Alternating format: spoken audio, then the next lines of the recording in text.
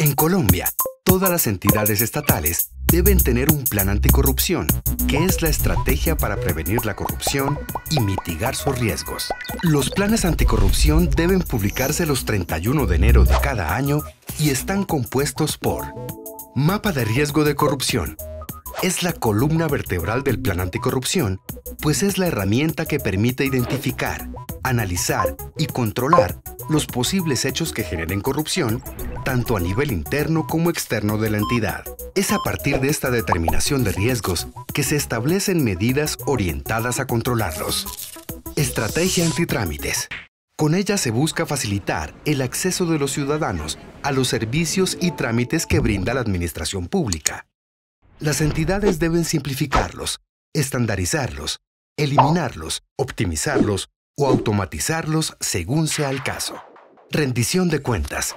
Este proceso, que debe ser permanente, pone al alcance de los ciudadanos el quehacer de las entidades públicas. Atención al ciudadano. Aquí se concentran los esfuerzos de las entidades para garantizar que todos podamos tener acceso a trámites y servicios.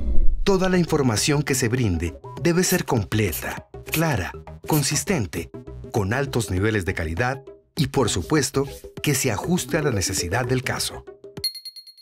Transparencia y acceso a la información. En este punto se establecen los lineamientos para garantizar el derecho fundamental de acceso a la información pública. Iniciativas adicionales. Aquí se incluye todo lo que la entidad quiera desarrollar para contribuir a combatir y prevenir la corrupción. En este punto, por ejemplo, se incluirá todo lo relacionado con la política de integridad, que es la que fortalece el sentido público de lo ético.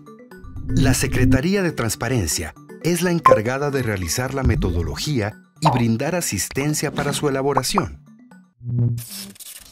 Todos, ciudadanos, empresarios, funcionarios, debemos hacer parte de la construcción del Plan Anticorrupción y de atención al ciudadano y todos tenemos acceso al documento final. Así que hay que ponerse las pilas y consultar los planes anticorrupción y de atención al ciudadano de las entidades públicas que deben estar publicados en los sitios web de cada una de ellas.